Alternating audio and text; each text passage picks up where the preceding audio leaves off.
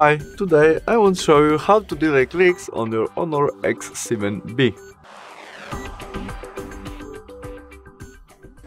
In the first step we must open settings application where we look for accessibility features. Now first function accessibility and there scroll down to the accessibility shortcuts. No, no shortcuts, uh, touch. And there we have uh, function like tap duration, long press duration, which we can easily change to the long. And after we do that, uh, if we it can be helped when we touch the screen by chance and until strong and long push it won't open anything you want.